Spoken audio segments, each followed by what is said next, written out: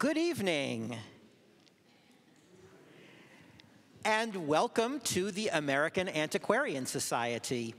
And our public program for this evening travels with George in search of Washington and his legacy with Nathaniel Philbrick.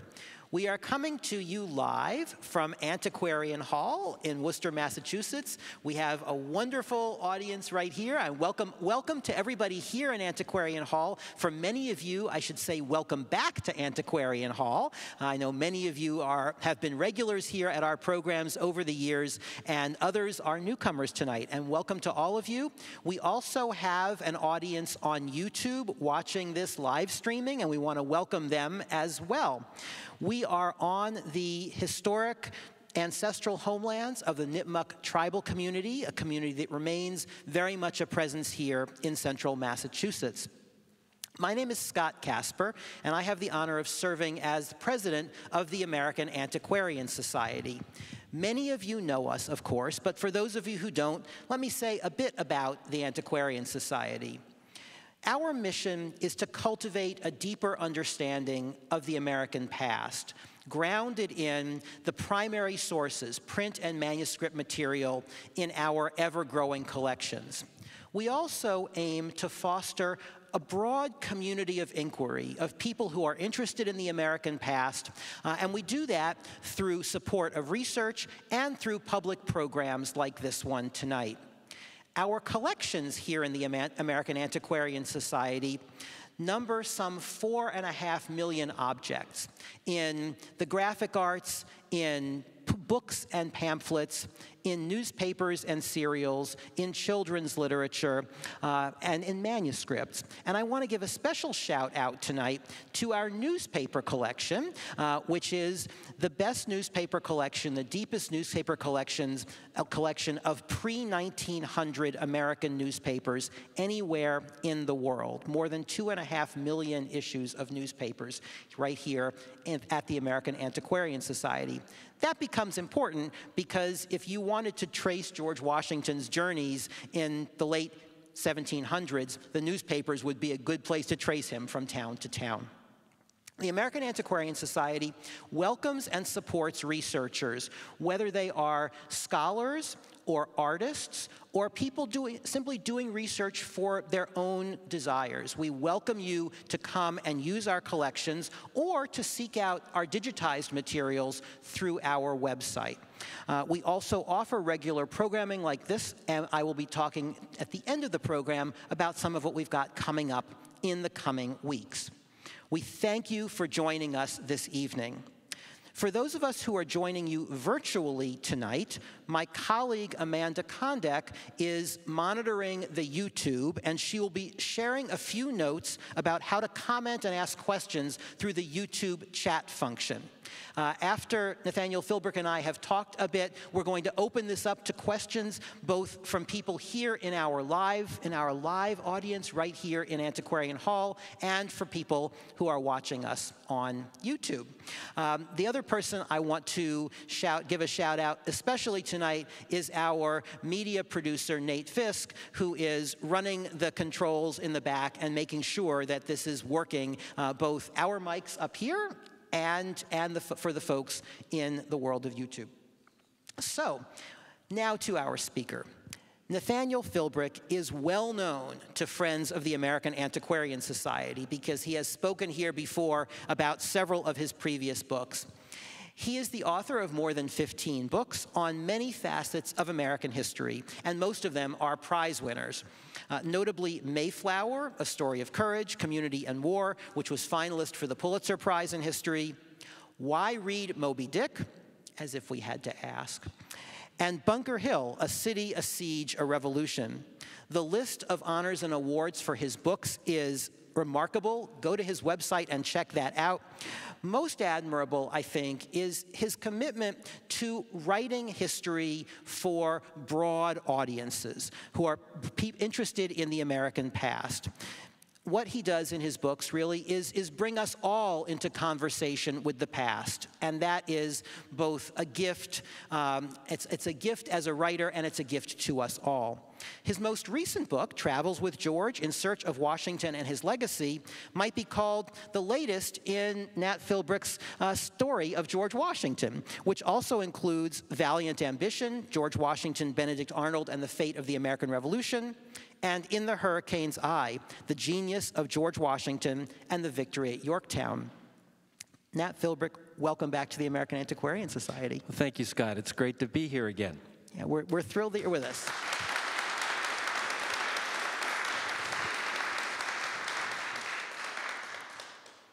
So, several years ago, you, your wife Melissa, and your dog, Dora, Yes. Went off to trace George Washington's presidential journeys of 1789 to 1791. What possessed you to do it? Well, good question, Scott. Well, we, um, I had was finishing my third book about the American Revolution, uh, in the Hurricane's Eye, which is about the year of Yorktown and the naval battle uh, fought between the British and the French that made that victory possible. And I was doing some late inning research. I was in Providence, Rhode Island, and I made my way to the John Brown House. Now, this is John Brown, not the John Brown, the abolitionist. This is a very different John Brown. This is John Brown, actually a slave trader, uh, one of the co founders of Brown University. And um, in the back of his brick magisterial house is a, a little addition that includes what's known as John Brown's chariot. This is a horse drawn carriage with one seat uh, about the size of the back seat of a VW bug. And uh, uh, according to family tradition, John Brown, who was a big man, uh, had a face like Mr. Bean, you know, the, uh, the comic. Um, so, big guy. And the newly inaugurated President George Washington uh, went on a ride in John Brown's chariot to Fox Point, where Brown was building a new ship named for the new president.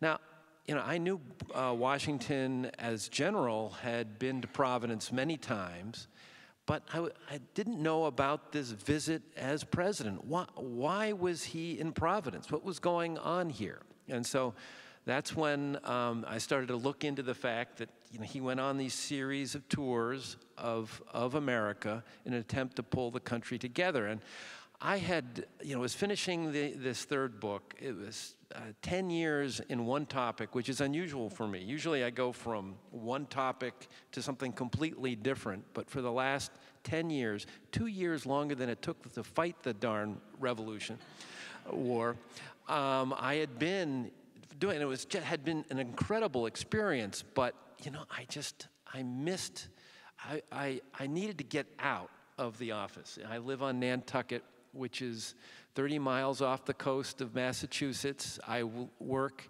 in a tiny uh, basement office, uh, and I love Nantucket, but it's, it's isolated. I grew up in that nautical center of the University of Pittsburgh, Pennsylvania.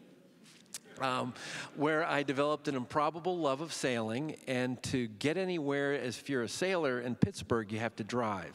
And so I used to drive with my sunfish on the roof of the, the VW Bug to uh, a flooded strip mine that was known as Lake Arthur, where they raise sunfish, to races all over the country. I love the race sailing, but I love the travel. I love being on the road, the food, the maps, you know, all of that kind of thing. But on Nantucket, it's 14 miles long. Um, you know, it takes 25 minutes to get from one end of the island to the other. When I'd get a uh, a uh, audio version of one of my books, uh, I'd put in the CD, and to listen to the first chapter, I'd do five laps. And uh, so I, I was pent up. I wanted to do something different. I wanted to get out on the road. And so the result was Travels with George. And what you're doing in this book is tracing a series of, of journeys that Washington made in the first couple years of his presidency. And when I think about Washington, what I, what I recognize is that unlike many of the other people we consider founding fathers who had spent their careers looking toward Europe. You know, so John Adams and Thomas Jefferson go as ambassadors as ambassadors to England and France, Benjamin Franklin as well. Washington by the time he's president has already seen a vast swath of the North American continent going back to the time he was a surveyor. So when he thinks about taking these trips as president, how's that different from all the travel he had been doing, whether it's back to his days as a surveyor and to the revolution as well, because he's now he's the president. What's right. He, what's he well, to? the big difference is he's, he's president. president. So, and yeah.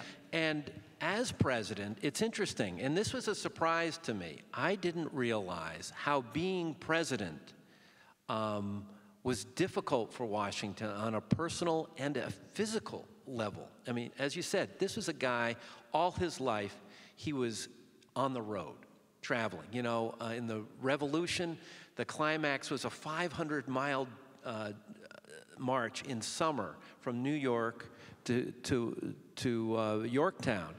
Even when he was at, uh, on Mount Vernon, he would routinely get up in the morning and be on horseback for six, six hours inspecting the plantation, which was 5,000 acres. Um, so this guy was used to being out there moving.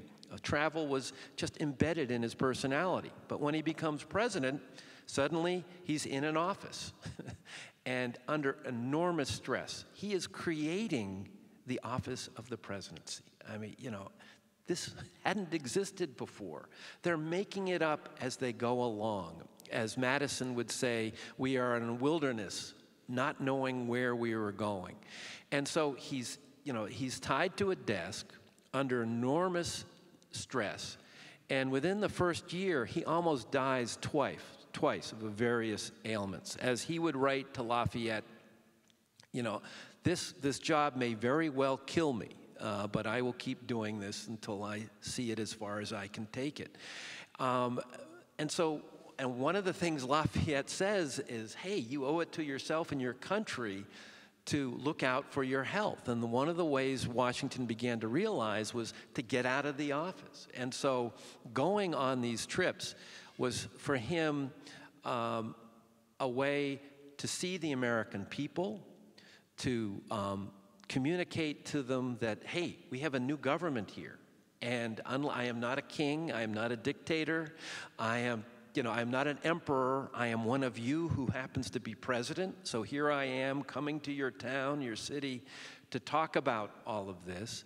But he's also out there enjoying being on the road. And so for me, that was, you know, you, you get these anecdotes of people observing Washington, and he's not the guy staring at the $1 bill. Um, he's someone who's actually kind of enjoying himself, being out there, seeing the American people, exploring the country.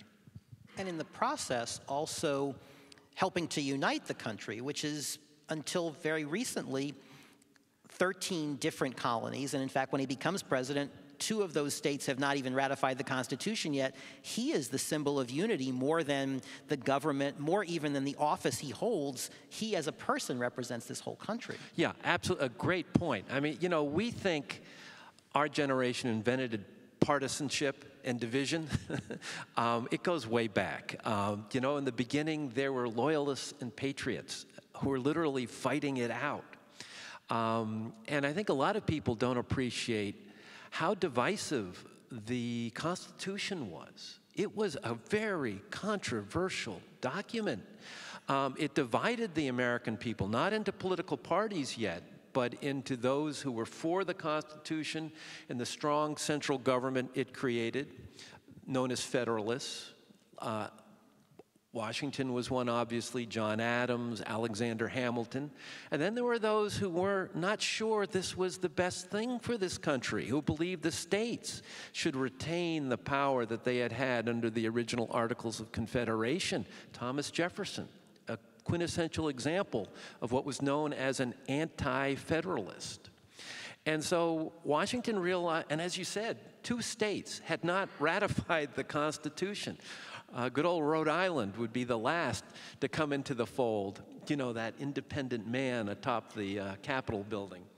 And, um, And so Washington really realized he needed to do something to pull the country together. And on top of all this, um, as you said, these had been 13 different colonies, states. Uh, when the governor of Virginia said, my country, he didn't mean the United States, he meant Virginia. Uh, and Washington needed to go out there. He couldn't get on the radio, couldn't get on TV and reach out to people through mass media. He had to go there from town to town. The New England tour, 60 towns alone in the New England tour, and tell, you know, and use his star power to help say this, you know, let's think of ourselves not as, you know, the resident of this town in this former colony, but part of the United States.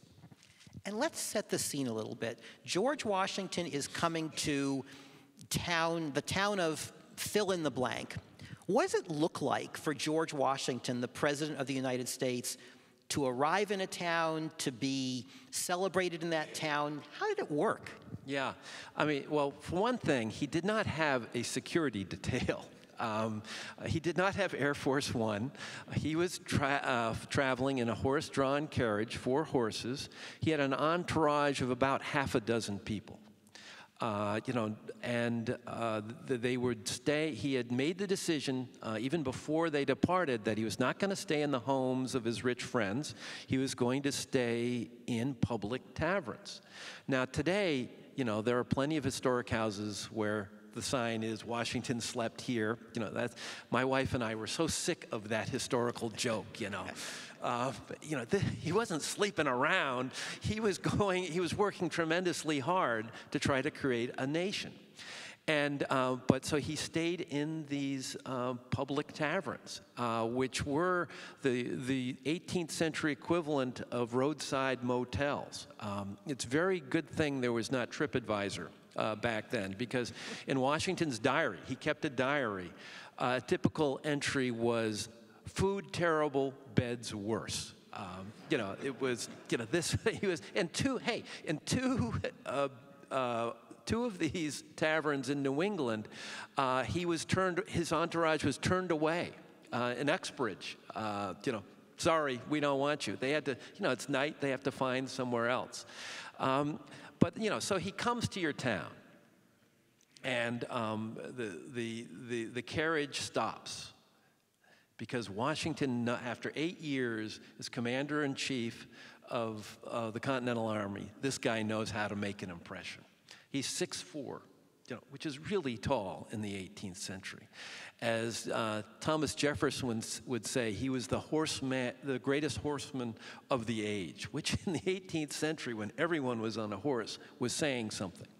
So he would um, get out of his carriage dressed in his uh, Revolutionary War uniform, you know, with those gold epaulets on, on each shoulder, get on his great big white horse and ride down Main Street of, let's say, Shrewsbury uh, with everyone going crazy.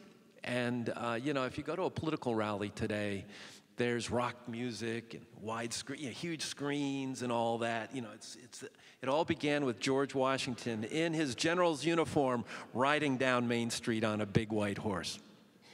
And then, once he's in town, people are celebrating him, and there are dinners with toasts and, and really just um, bringing him before both the masses and also the elites of the particular towns, right? Yes. Yeah. I mean, it, it in most towns, it developed into kind of a routine. Uh, you know, you might say one rubber chicken dinner after another, where uh, he would be presented uh, uh with with letters uh, of of thanks from the various organizations, uh, the, the, the ministers of the town, uh, from the Society of the Cincinnati. These are uh, Revolutionary War officers of the Revolutionary War who had a fraternal society. These kinds of things, all saying versions of "We are so happy you're president and you have come to honor us with your presence. And then he would give a formal reply that would, you know, be written and, and, and presented. And, and, it was, and then there would be, um, there was often a big dinner. Um, uh, where the militia, and often the militia would uh, uh, escort him in. He did not like the militia escorting him in because not only did this make it a little too of a militaristic, um, because hey, he had been a general. He had to walk you know, be a little careful in all this. And, and actually, when he was in Worcester, he did not wear his general uniform. He went with the brown suit that he had worn at his inauguration in New York at the temporary capital. And, you know, so he was very sensitive to all this kind of thing. But, um, but he hated it when the, uh, you know, the, the militia was on their horses bringing him in because it kicked up a lot of dust.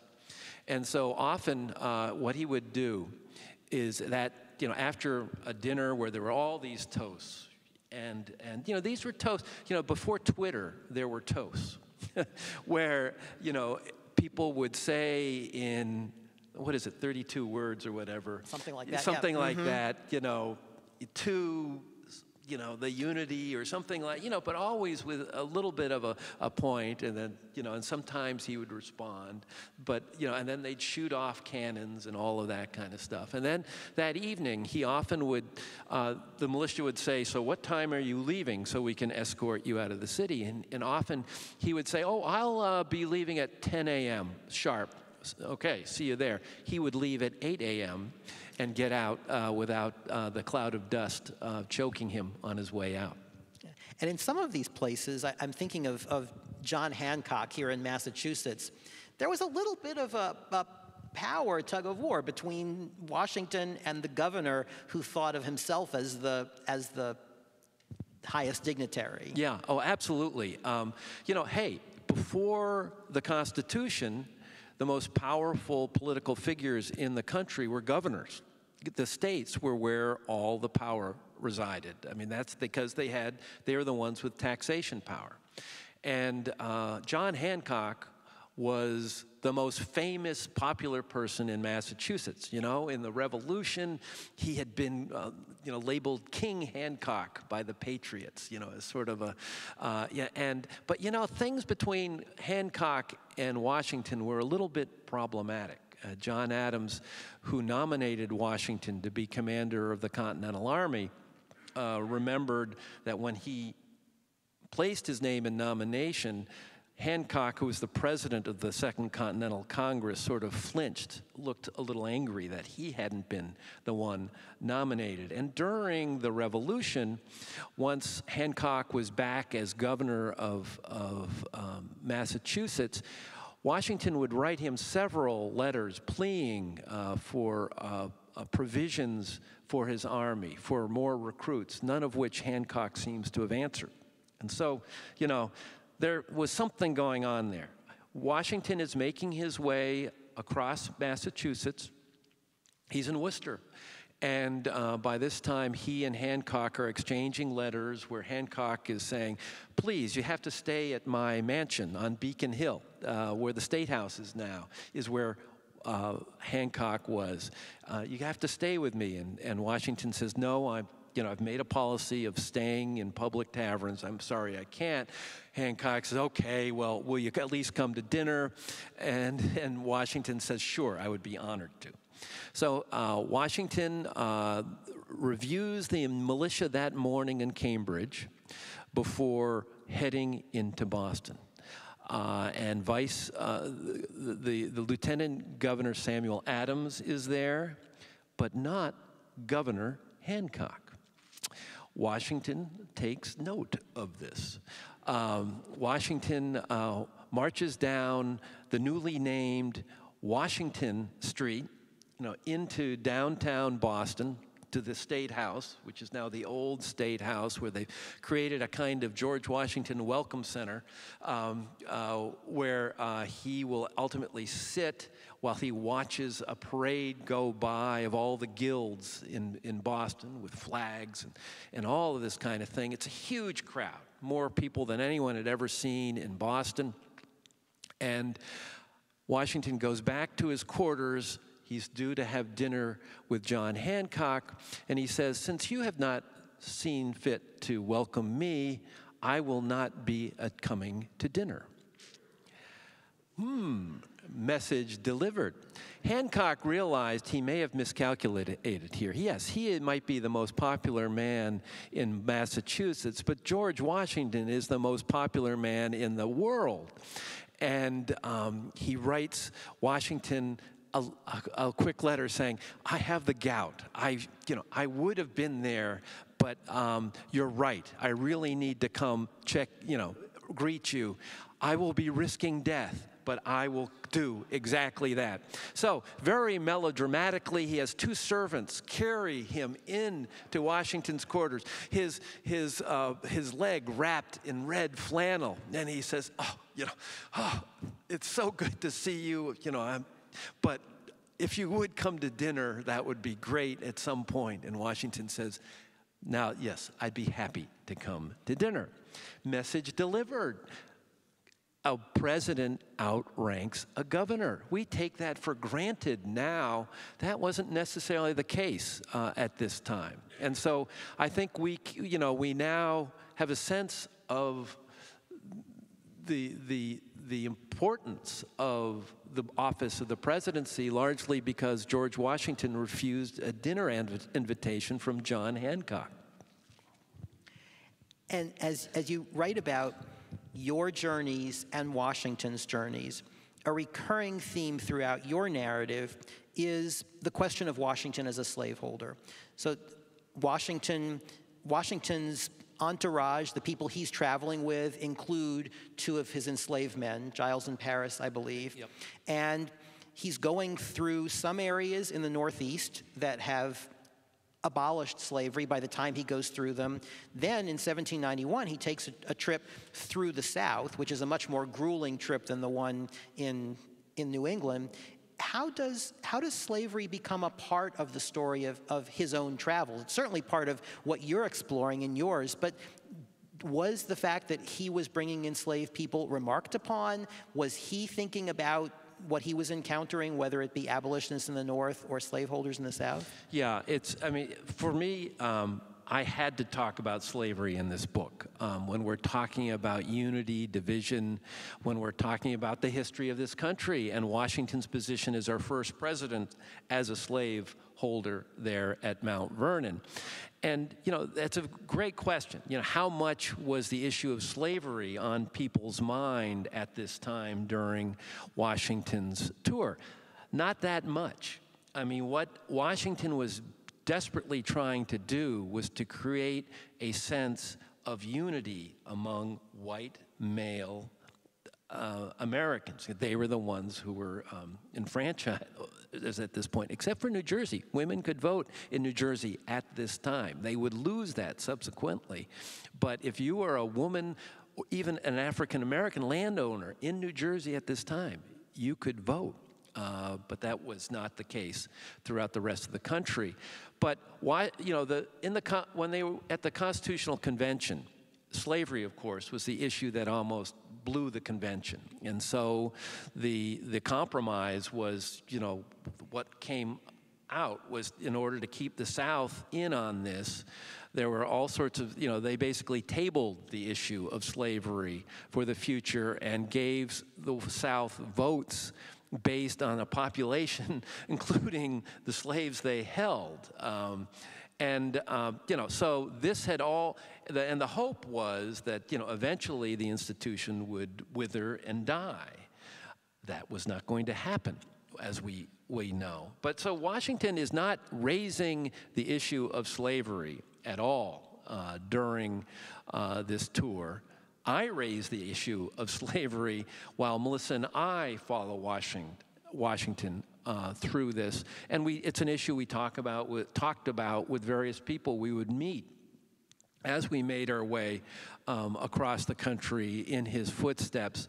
I mean, the one thing I think it's important to, to say about Washington in slavery was this is a guy who goes into the Revolutionary War pretty much your standard plantation owner, you know, from Virginia. He's got 100 African American enslaved people at Mount Vernon. Half of them are his, half of them are owned by the estate of Martha's deceased husband and willed to their grand, her grandchildren.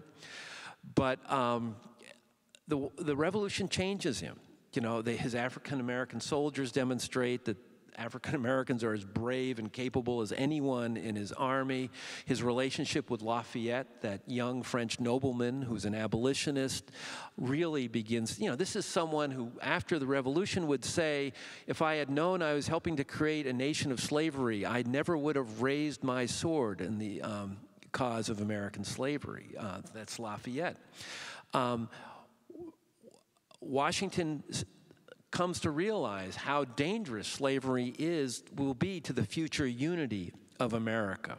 And actually, Jefferson would record an overheard conversation in the cabinet meeting in which Washington, and he was a Southerner, but he was a Southerner with basically the political agenda of a Northerner, being a Federalist. You know, he was unusual in that regard. But uh, he was overheard to say, if slavery should ever divide this country, I will go with the northern part, which is a remarkable statement from a Virginian. Um, yes, he would free his enslaved workers upon his death, but only upon his death, actually, after his death. You know, he did not live up to, you know, the, the, the standard we now would perhaps hold to him.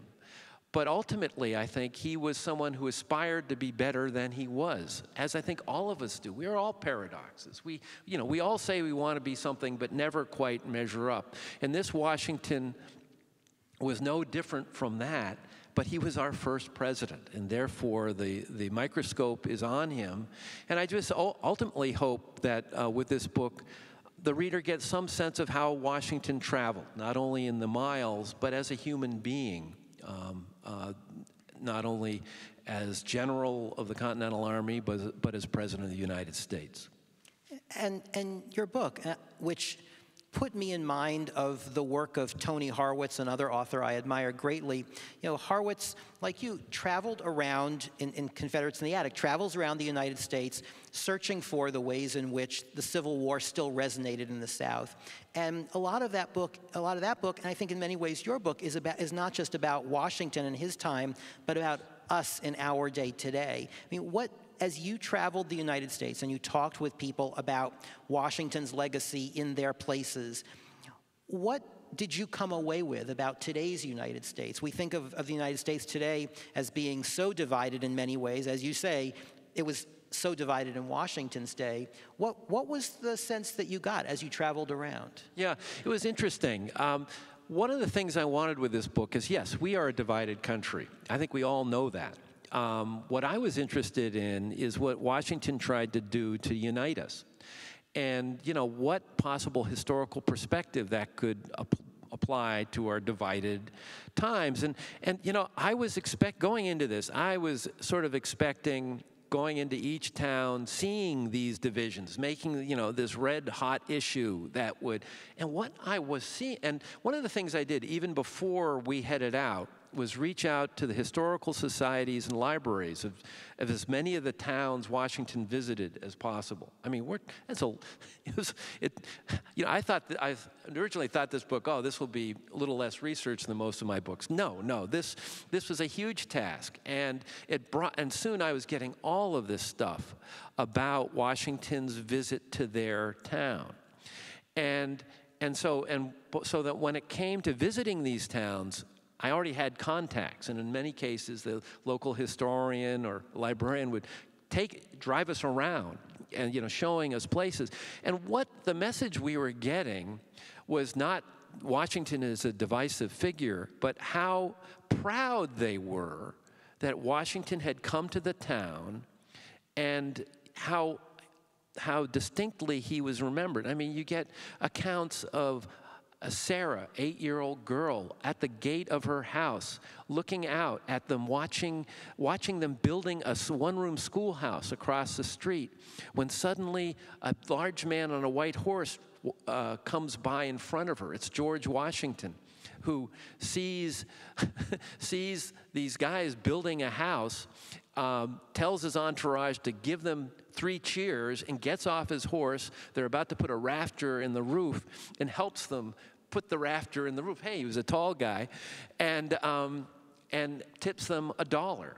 And Sarah went 88 years later, when she is 93. Um, is living in Greenwich Village, talks to a reporter, and tells the story of seeing Washington. And, you know, this kind of local history is not, you know, living in a, uh, a, you know, a, a, you know, a book on a musty shelf. It's an actual part of these towns, of what's being told to their to people, to children. I mean, it's active. You know, uh, Tip O'Neill um, said all politics is local. I'm here before you today to say all history is local. And so this is one of the things I'm so grateful to Washington um, for providing us with the excuse to follow him was to, to see that. And so it was, it was an experience by which I had a very affirmative, uh, affirming sense of the power of the past to inspire people about where they are now. And you know, it was not. I wasn't getting this sort of toxic thing where you know he was a lightning rod to various sides. It was more, hey, he was there at the beginning, trying to pull us together. Um, and so that's. I mean, that was our experience as we made our way through. And one of the things that, that I enjoyed reading as I was as I was going through the book was the ways in which these local towns have histories that in some cases combine traceable history with uh, what you might say is, is fables. Yes. Um, you know, George Washington's supposed dog named Cornwallis, for example. Yeah. Oh, gosh, Cornwallis. Oh, I wanted to believe in Cornwallis so bad here we, okay, Char Travels with Charlie Steinbeck's book about uh, driving the, the country with his 10 uh, year old standard poodle, Charlie. It's one of my favorite books of all time. And so it was a shameless uh, uh, plagiarism on my part to say, we're going to bring our dog Dora. Uh, she's actually in the car right now. She's a now a five-year-old um, Nova Scotia duck-tolling retriever, but she was um, just a little thing back then. And, um, you know, and so, you know, this was, I wanted to believe that Washington, the, the, the, the tradition is during his southern tour, which took three months. I mean, three months. Uh, he went all the way down to Savannah and then headed inland to Augusta before making his way back. And according to tradition, and believe me, a lot of um, you know. Uh, uh, very respected historians have written biographies and accounts of Washington stating Cornwallis's presence as fact. And so I desperately wanted to believe in this. You know, I had a dog, Washington had a dog. This is great. And according to these, Washington had made his way uh, to uh, Augusta. And by this time, you know, they were well month and a half into a very grueling tour. And finally, the pace of this, this tour caught up to Cornwallis, and he expired, died. And according to the accounts that were left, Washington was moved to tears as he buried his, uh, his dog. And ultimately, the, the, uh, Cornwallis's body would be encrypted in a uh, brick tomb, which would be discovered when uh, they were doing uh, road work in Savannah in the late 19th century. And okay, so I thought this is great. And so we, uh, Melissa and I and Dora go to Augusta. Uh, there I had been in contact uh, with a, a, reporter at this, at this, the Augusta Chronicle who had give it, been really helpful, and he's a real, he, you know, he has a, has a history column in the paper, and he gave us a tour and was driving around, and I was talking to him enthusiastically about Cornwallis, you know, you know, hey, name for a British general that Washington had defeated at Yorktown. This is just terrific. He said, Nat, did you look at the date? Because uh, the article about um, where all of this comes from is an article in the Augusta Chronicle. And he said, Nat, did you look at the date of that article? And I said, no, why? He said, well, it was April 1st. he said, we have, no one has ever, where they were doing road work was nowhere near where George Washington was when he came to Augusta. Uh, we have never found anything resembling that. It was an April Fool's joke. I go, oh man, say it ain't so.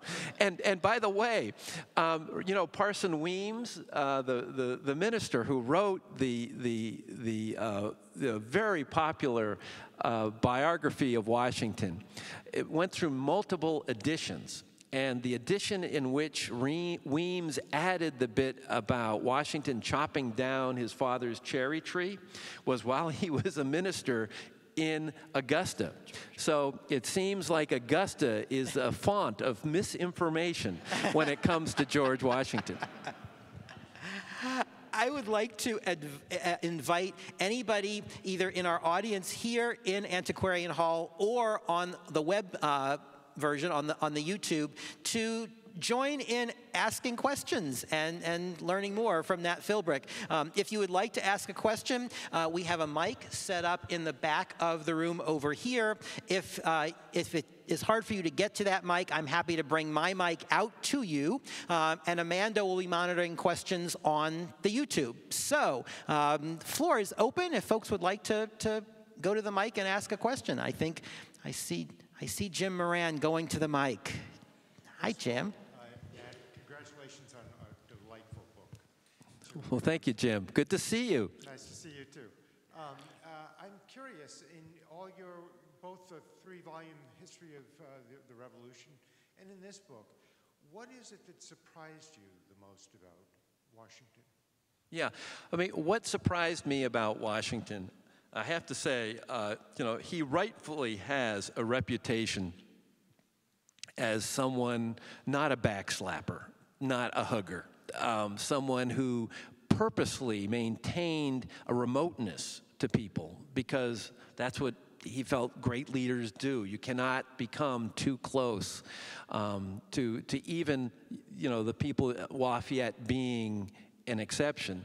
Um, and, um, you know, so he, he has that reputation. But what was surprised me was this is Washington, not the president, not the general, uh, this is Washington on the road, you know. And um, it was what surprised me was, you know, just the, the, the kinds of things he would say and and the the ease with which he would communicate with people. And for just just one example, um, which uh, he he was on on the Southern tour and believe me, this was grueling.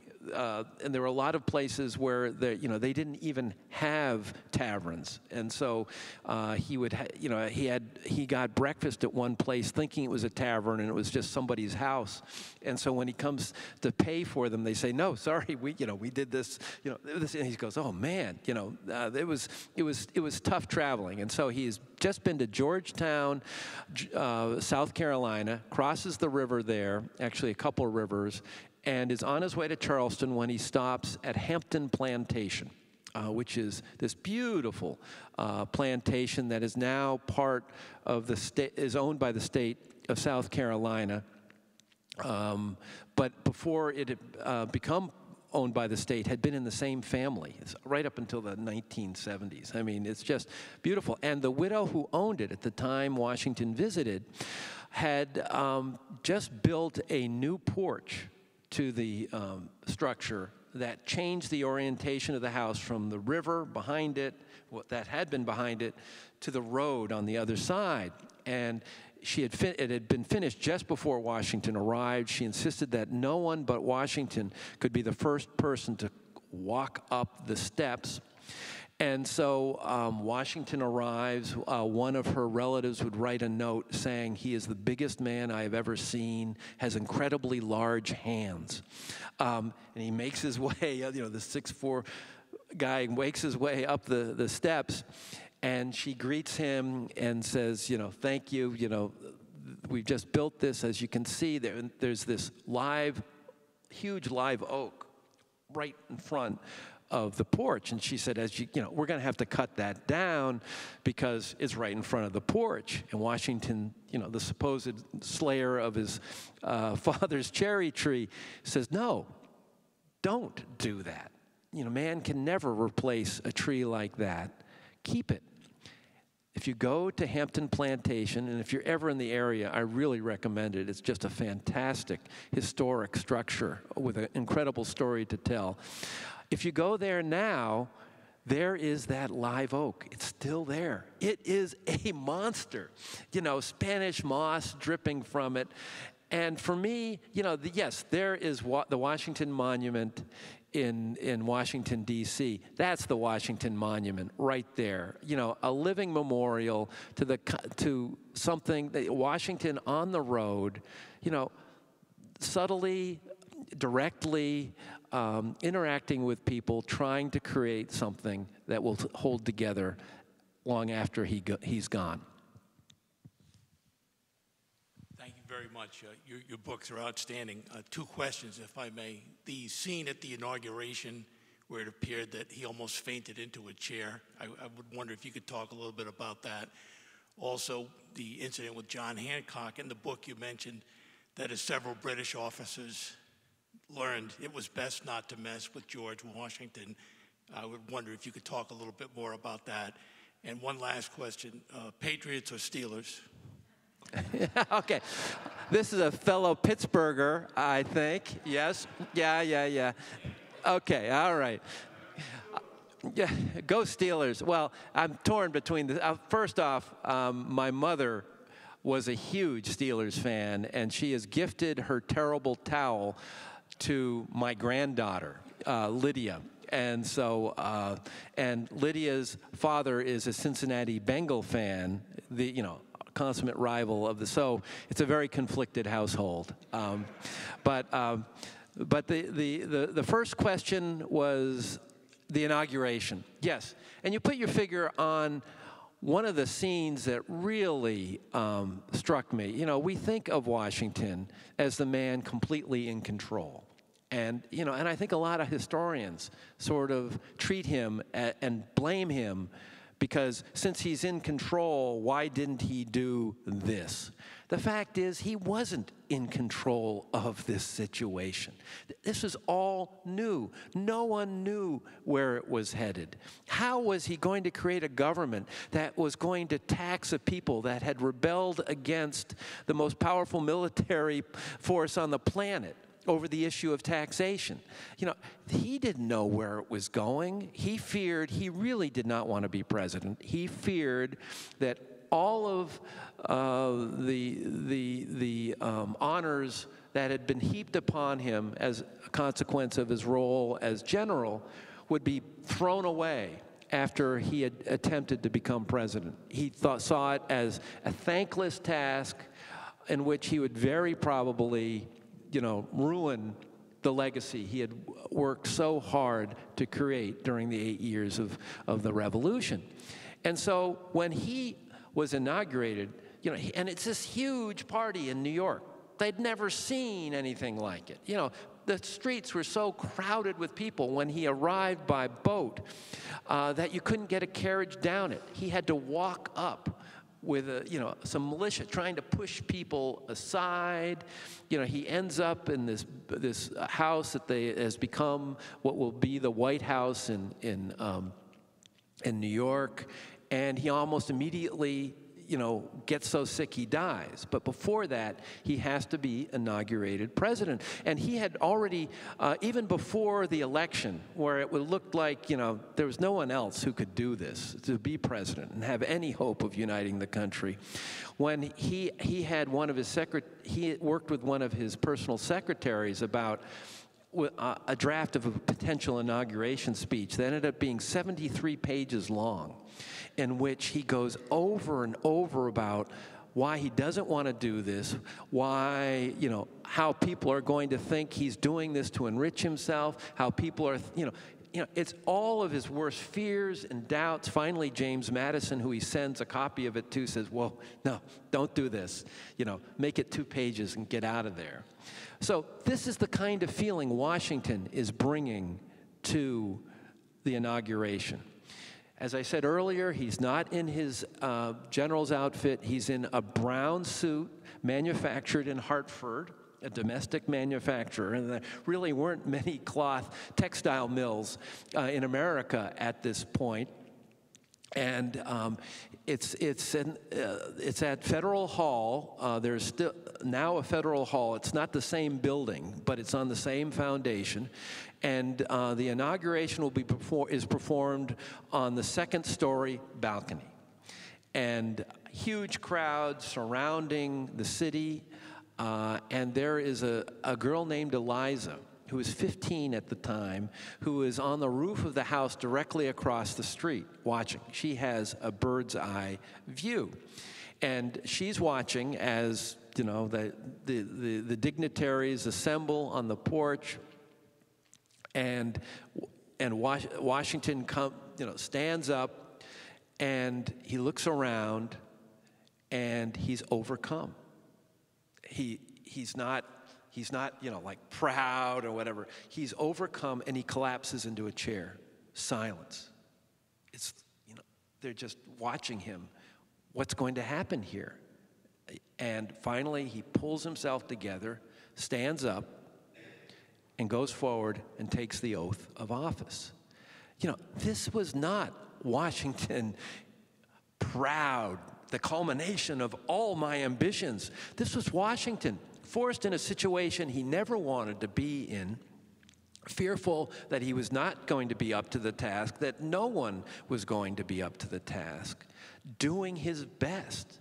And so I think it's really important that this human side of Washington be appreciated. I think there are many historians operating today who refuse to see that aspect of his personality, that he was a human being very conscious of his flaws, overawed by the responsibility, and doing the best he could. I think we have a question from our YouTube audience. Amanda? Thank you, Scott. So, Brooke Olivia asks Did Washington visit all 13 colonies? The question yes, Washington did visit all 13 colonies. If you count his, his inaugural tour from a pre inaugural tour from Mount Vernon to New York. He visited all 13 of them. And um, he was even at one point when he made his way up to uh, Portsmouth. He, uh, Maine was at that point part of Massachusetts. But during a harbor tour in Portsmouth uh, by boat, he would pull into a stone dock that still exists on Kittery Point and uh, uh, meet with the minister at the Congregational Church there, thus meaning he also went to Maine. Uh, he had hopes of making his way to Vermont, which was next in the queue to become a state. But heavy snows and business back in New York meant that he had to, to get back. And so, I mean, this is um, a huge undertaking uh, for him. You know, that, that uh, he, he covered close to 3,000 miles when you put all of what he was doing uh, together. It was, it was um, a tough physical undertaking, but for something, and you know, during the Southern tour, he was on the road by 4 a.m. You know, it was hot. Uh, these were horrible roads. Often it would, it would be sundown before he was you know, pulling into the next tavern. And so uh, this was a grueling ordeal uh, for a lot of it, but something Washington felt he needed to do, something that a deep part of him actually enjoyed. And, um, and so he, you know, he, this was a whistle top stop tour before there was uh, a railroad. Uh, oh, hang, So how did he find his, his way around? I mean, he didn't have AAA, he didn't have GPS. How did he know how to find all these towns and make his way around the country? Yeah, yeah. Uh, you know, how did he do it? Well, one of the things uh, which was, you know, because this book is about Washington, but it's also about Melissa and I following him. And, there's also some memoir from my point thrown in. And one of the things Melissa would do, we'd be following Washington. For example, when we followed Washington from Mount Vernon to New York, uh, there, you know, the question is, where was the old road, given where we are now? And in that instance, we were really lucky. When Washington marched from New York to Yorktown, uh, with Rochambeau, the French general, Rochambeau's uh, surveyors uh, drew very detailed maps of the route down there. That has been put online, and the Rochambeau Society has created uh, Google powered maps of where those roads are on today's roads, which is really cool. So, being a slave, you know, I said, Melissa, we are going to follow where Washington went. So here we are on this Miracle Mile in Maryland, and Melissa turns on you know, and she's saying, "What does this do to help you? You know, you're, you're, you know, how will this translate in, you know, reaching a cosmic understanding of Washington?" And so she turned on the Google Maps function that kept telling us, because we were going to Baltimore, kept telling us to get on the highway. And uh, I like to think Washington, who wanted to get the trip from Mount Vernon to New York over as fast as possible and get this whole inauguration thing over with, that was the disembodied voice of Washington telling us to get off this Miracle Mile and haul butt to uh, New York. But, anyways, how did Washington do it? Well, one of the things is, for example, his, his New England tour was fairly scripted go on his way up to Portsmouth. You know, they really sort of knew where they were going. Towns were prepared. You know, there was a, uh, you know, it was pretty much one place after another. Going back, however, it was not that case. And so he was coming back from Portsmouth, New Hampshire to New York, and he was trying to go as fast as he could. There's no front man warming up the crowds or letting, no one knew. And so he would show up in a town like uh, Milford, Mass, and uh, the local minister and his son were uh, hauling out the manure from the back of their house when someone says, Hey, is that George Washington going by on that carriage? And he stopped at the tavern. And they said, Mike, it's George Washington. And so the minister would, uh, would, would uh, go home, do a quick shave, and um, uh, his son would never forgive him for not taking him with him to the tavern to see George Washington. And so George was making this way.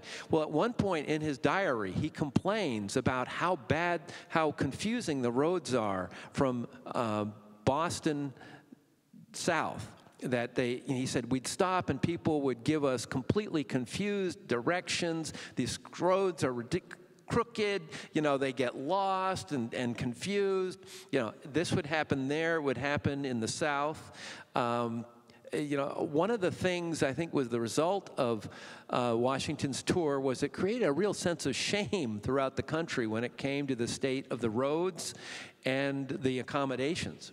And you know, it's been uh, said that Washington's tour of America inspired the American hotel industry, um, because sure enough, right after it, you get the first hotels in New York and throughout the country beginning to spring up, and the roads get better. You know, this was going to happen anyways. But one thing Washington was doing was shining a spotlight on how bad our country's infrastructure was. He would have loved President Eisenhower's interstate highway system. Oh, yes, he would have, absolutely. He, I mean, that is exactly the kind of, of, of he was all about transportation, you know, and uh, uh, one of the, it's not just roads, but for him, then, you know, it was rivers were such a huge part. of That's one of the reasons why he felt the nation's capital should be in wa- where Washington D.C. is now, because he saw the Potomac as what the Erie Canal would eventually become, as the artery, the water artery that would carry goods from the west east. And um, yeah, so he was all about transportation. And yeah, he and Eisenhower, I think, would have had a lot in common. In a lot of ways, yeah. Yeah. We'll, we'll go to the mic here and then we'll go back to Amanda. Yeah, please. I've really enjoyed Mayflower and In the Heart of the Sea, so thank you very much for those. Regarding the travels, I wonder if he visited any of his battlefield sites Long Island, Washington Heights, Princeton, Valley Forge. Yeah, yeah. Well, when it came, you know, he was a general, and one of his more interesting uh, uh, tours uh, was of Western Long Island, just four days, and it's the only presidential tour that he took during those two years of office where there's absolutely no newspaper coverage, a total media blackout. And you might ask, why was he touring Western uh, New York? Well, during the Revolution, uh, he developed a spy network known as the Culper Spy Ring. If you've seen the series Turn, you might uh, be aware of it. That's based on um, uh, a, a, uh, a, a, book about called Washington Spies. That's just terrific. And, um, and so what Washington seems to have done because the, the Culper Spy Ring, the, the, the center of it was in Setauket, New York, which is on the north shore of Long Island, almost smack dab in the island. Uh, what, there was a loyalist from the neighboring town, uh, someone masquerading as a loyalist from the neighboring town of Oyster Bay who was in New York. Uh, now remember, the British occupied New York City and all of Long Island. So this was occupied territory. The loyalist in, uh, with the last name of Townsend uh, would write up in invisible ink or in code uh, information that a, a, tavern keeper in Setauket, who was in New York to get provisions for his tavern, he'd pick up the, the, the message. He would put it in a secret place in Setauket, which is right on the water. And at night, a whaleboat would sail over from Fairfield, Connecticut, across the Sound, pick up the message, take it back to Washington, who was on the Hudson, dug in, countering the British in New York. And so this was the Culper Spy Ring. Well, as president, Washington goes on this secret tour, unannounced, going to town after town associated with the Culper Spy Ring. None of the spies in the Culper Spy Ring, their identities were not even known to their own families. Uh, they would die unknown to anyone but Washington and his spy chief. It wouldn't be until the 20th century that a, a historian would, un, you know, reveal the names of the, the people in the Culper spy ring.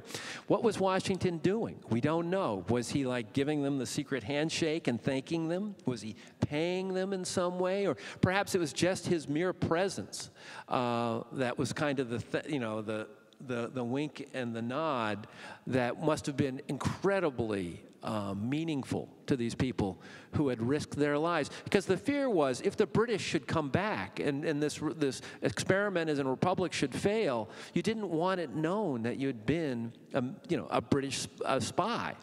And so, uh, you know, that was an, an instance in where Washington was revisiting not a battlefield, but an, an aspect of the, um, the war that had been very important to ultimate victory.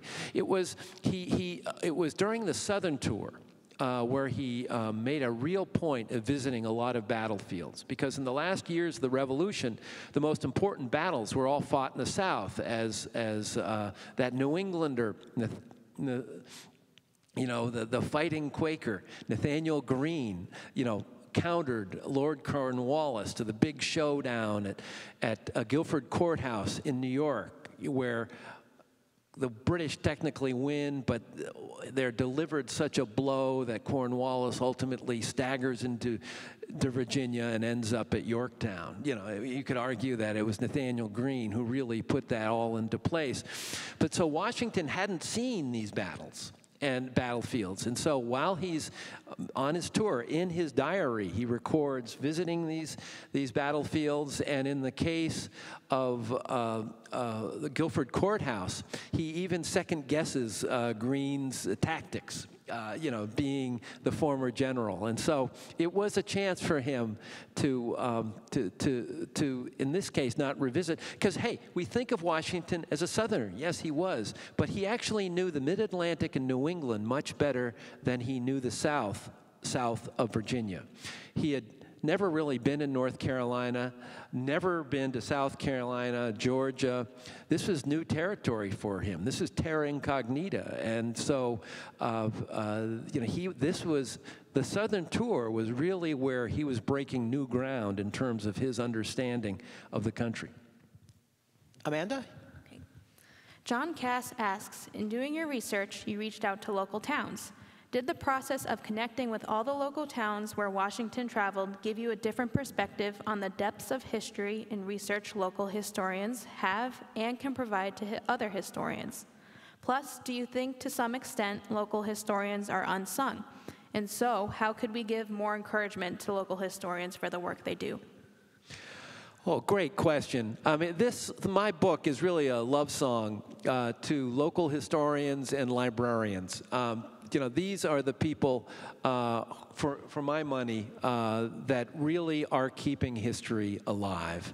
Uh, you know, without them, history would not be the vibrant, on the ground presence that it rightfully is. And, um, you know, when it came to, I mean, there was one one thing where, you know, I, I, I, you know, we would run into so, you know, we would meet so many of the people I had talked to one way or another. You know, it's one thing to email with someone, then to drive around in a car with them. It's something else. And there was one librarian at the um, the history room of of the. Um, what what town in uh, South Carolina, North Carolina? It was. Oh man. Anyways, we make our way up there, and there he is, and he like he's as I say in the book, uh, it's the same.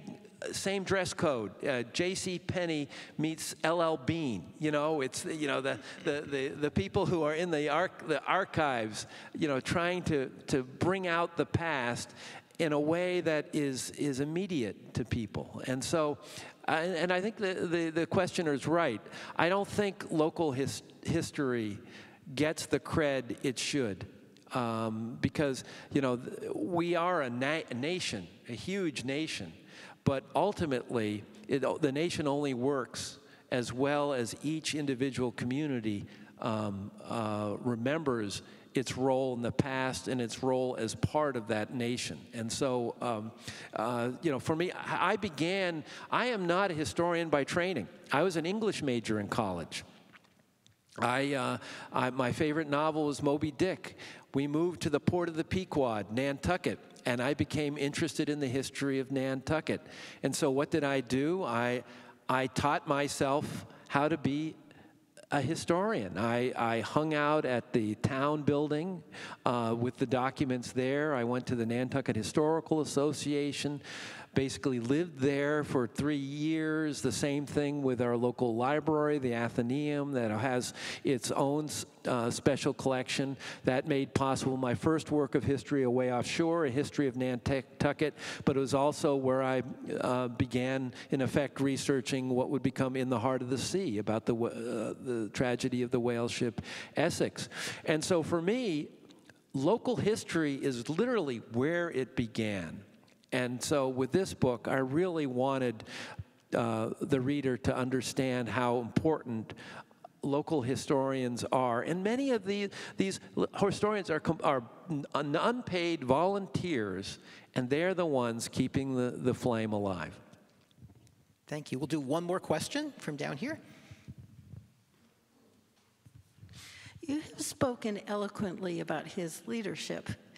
Um, wondering if he read Machiavelli or some of the ancient writers such as Cicero? Did that did, were those people that he considered as he developed his role?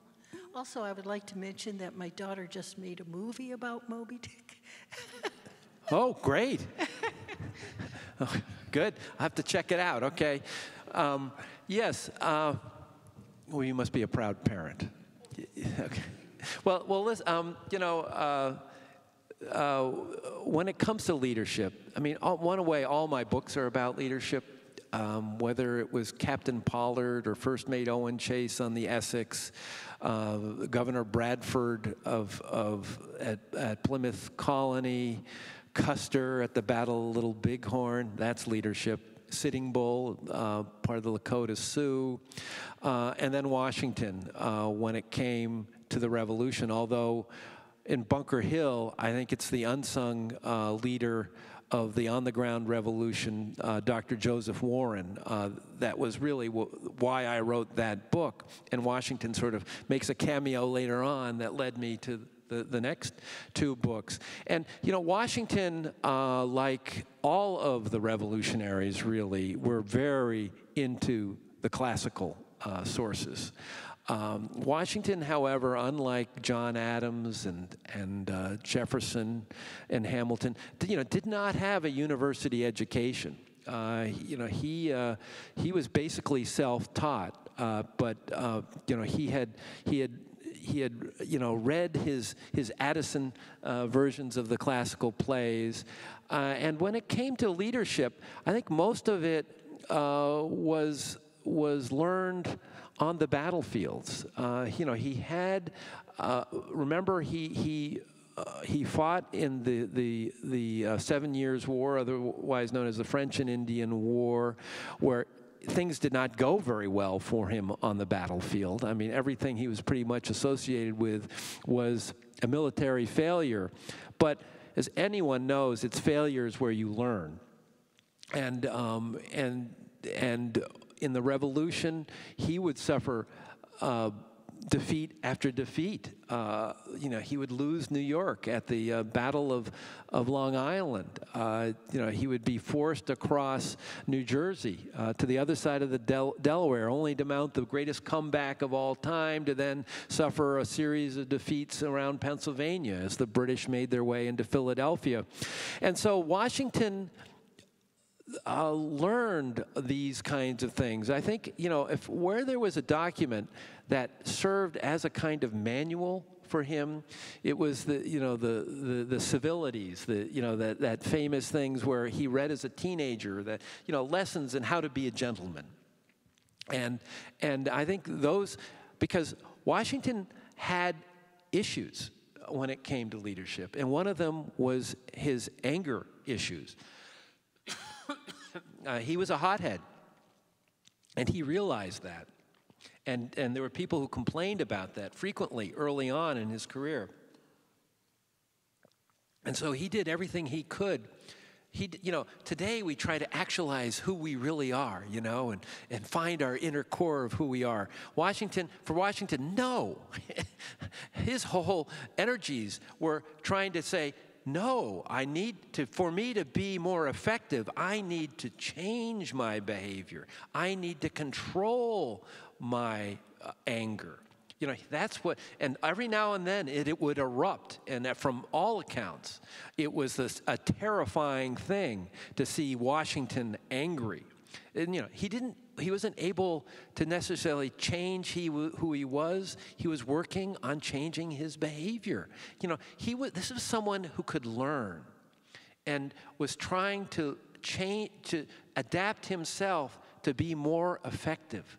So many leaders are, I mean, so, all, most of us, we're who we are at birth, and we spend our lives angry at the world for our failures when we could, if you looked in the mirror and said, well, maybe some of those failures you were responsible for yourself, Washington was not afraid to look into that mirror. And I think it made him such a very effective leader. And so Washington, for me, was a fascinating um, case of leadership, of learning on the job, and um, um, and and trying to to to adapt yourself to be the most effective leader you could possibly be. And on that note, please join me in thanking Nathaniel Philbrick for this conversation. Thank you. And thank you, Scott. It was really great to be in conversation with you. A lot of fun.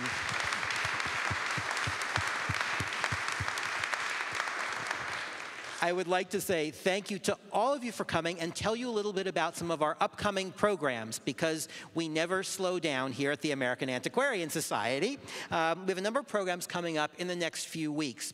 Next week on Wednesday afternoon from 5.30 to 7 o'clock, we have a program called Chat with a Curator, celebrating Worcester's 300th anniversary. That's a drop-in opportunity for anybody who would like to come and look at some of our collection objects uh, with our curators to be there and, and provide context. We're going to have objects ra ranging from 19th century letters and diaries to children's games, Valentine's, of course, here in Worcester, newspapers, photographs, items from the Brown family collection, and much more. That's next Wednesday from 5.30 to 7. On October 11th, at 7 p.m. We will have another of these hybrid programs, both here in Antiquarian Hall and on YouTube, when Gregory Nobles will be here to talk about his new book, The Education of Betsy Stockton, an, an Odyssey of Slavery and Freedom. And then on Thursday, October 20th, Jacqueline Jones will be here to deliver the Robert C. Baron Lecture, which will be a retrospective on her book, Labor of Love, Labor of Sorrow, Black women, work, and the family from slavery to the present, a book that won the Bancroft Prize in the late in the mid 1980s. Both of those programs by Greg Nobles and Jackie Jones will be both live streamed and live here in Antiquarian Hall. Please check these out on our website. If you are here with us tonight, our friends from Tide Pool Books here in Worcester, our independent bookseller here in Worcester, are here with copies of Nat Philbrick's book, which he would be happy to sign, I believe. Um, so please feel free to come and get a book. And to everybody in our audience here in Antiquarian Hall and on YouTube, thank you so much for joining us here. We look forward to seeing you again. Have a good evening.